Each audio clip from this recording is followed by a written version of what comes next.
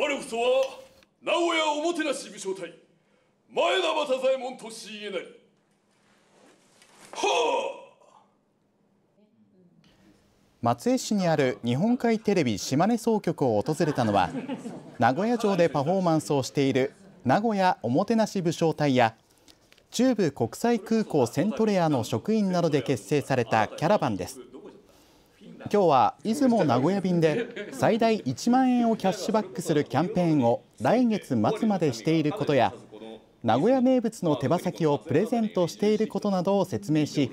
1時間ほどで行ける名古屋への旅を PR しました世界に飛び出して今年は例えば2月か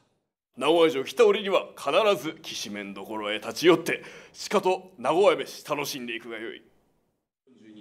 キャラバンは明日出雲市の夢タウン出雲で PR イベントを実施することにしています。